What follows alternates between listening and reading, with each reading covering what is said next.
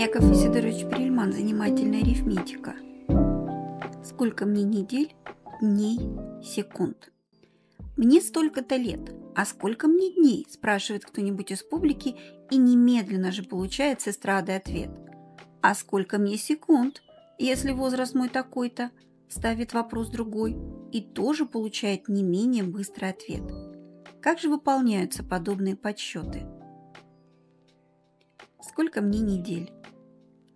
Чтобы научиться по числу лет быстро определять число заключающихся в них недель, нужно только уметь ускоренно множить на 52, то есть на число недель в году.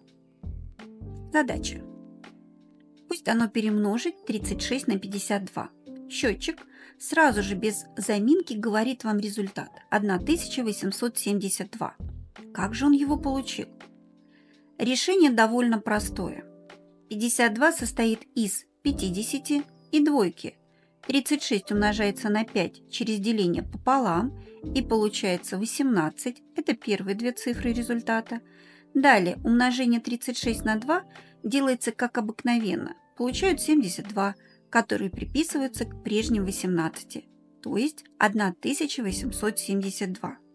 Легко увидеть, почему это так. Умножим на 52, значит умножить на 50 и на 2 но вместо того, чтобы умножить на 50, можно половину умножить на 100. Отсюда понятно деление пополам. Умножение же на 100 достигается припиской 72. 36 умножить на 2, отчего каждая цифра увеличивается в 100 раз, передвигается на 2 разряда влево. Теперь понятно, почему гениальный счетчик так быстро отвечает на вопрос «Мне столько-то лет, сколько мне недель?». Умножив число лет на 52, Ему остается только прибавить еще к произведению седьмую часть числа лет, потому что в году 365 дней, то есть 52 недели и один день. Каждые 7 лет из этих избыточных дней накапливается лишняя неделя. Примечание автора. Нетрудно ввести поправку и на высокосные годы. Конец примечания. Сколько мне дней. Чтобы по числу лет быстро определить число дней, счетчик прибегает к такому приему. Половину числа лет умножит на 73 и приписывает 0. Результат и будет искомым числом. Эта формула станет понятной, если заметить, что 730 – это 365 умноженное на 2. Если мне 24 года, то число дней получим – умножив 12 на 73, 876 и приписав 0, 8760. Само умножение на 73 также производится сокращенным образом, о чем речь впереди. Поправка в несколько дней, происходящая от высокосных лет, обыкновенно в расчет не принимается, хотя ее легко ввести, прибавив к результату четверть числа лет. В нашем примере 24 разделить на 4 – 6. Общий результат, следовательно, 8766. Указанным далее приемами ускоренного умножения эти операции облегчаются до чрезвычайности, и миллионный результат получается очень быстро. Советую читателю попробовать произвести то же вычисление и обыкновенным путем, чтобы на деле убедиться, какая экономия во времени получается при пользовании указанной формулой и приведенными далее приемами. Я родился ранее 1918 года, 22 ноября.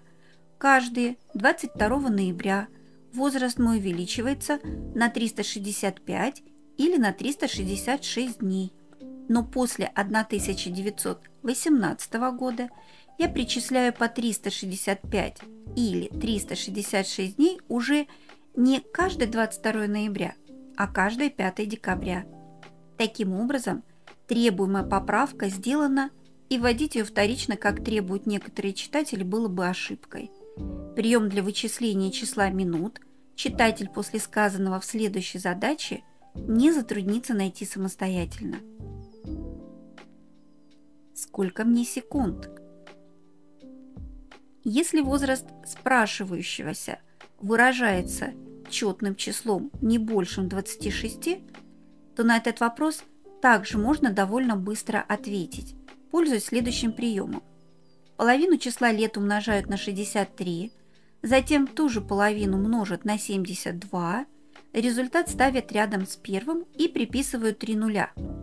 Если, например, число лет 24, то для определения числа секунд поступают так. 63 умножают на 12 – 756, 72 умножают на 12 – 864, и в результате записывают 756 миллионов 864 тысячи. Как и в предыдущем примере, здесь не приняты в расчет высокосные годы. Ошибка, которую никто не поставит вычислителю в упрек, когда приходится иметь дело с сотнями миллионов. К тому же ее можно исправить, прибавив число секунд, заключающихся в количестве дней, равном четвертой части числа лет. На чем же основан указанный здесь пример? Правильность нашей формулы выясняется очень просто.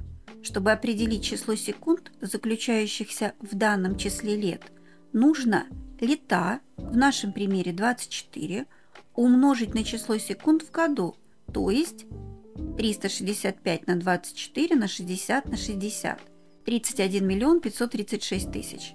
Мы делаем то же самое, но только больший множитель 31 536 разбиваем на две части. Приписка нулей сама собой понятна.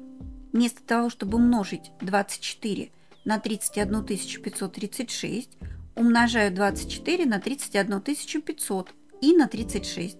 Но и эти действия мы для удобства вычисления заменяем другими, как видно из следующей схемы.